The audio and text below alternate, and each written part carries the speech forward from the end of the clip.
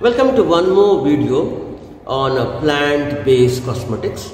In this video, let us learn the different techniques that are used for the extraction of phytochemicals from the plant material.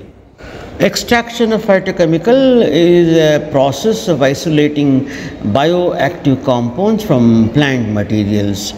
Standard methods including maceration, decoction, Soxhlet extraction and uh, modern approaches like ultrasonification are used for the extraction of uh, phytochemicals. The choice of method uh, depends upon the nature of plant material, the stability of the phytochemicals and the intended application.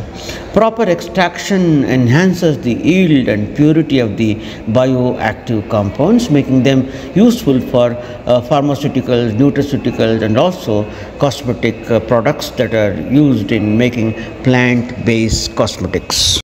Maceration is a simple extraction technique where plant material is soaked in suitable solvents such as water, ethanol or methanol at room temperature for a prolonged period. So you maintain them in room temperature and soak them in these solvents and uh, it is uh, maintained for nearly 24 to 48 hours this process allows the solvent to diffuse into the plant cells and dissolving the uh, compounds into the solvent.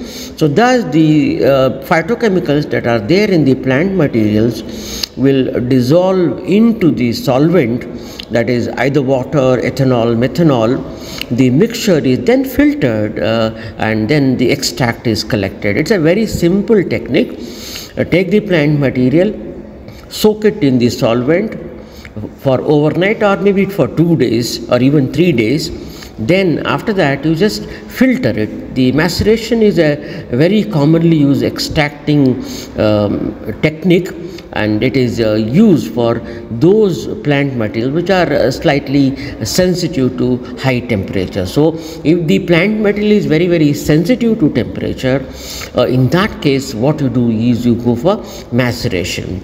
The only modification that you can make is the plant material may be uh, chopped or cut into small bits so that the uh, dissolving process will happen easily and more effectively. So maceration is a very simple and a very popular technique for the extraction of phytochemicals. I hope you have understood the different techniques of extracting the phytochemicals from the plant material.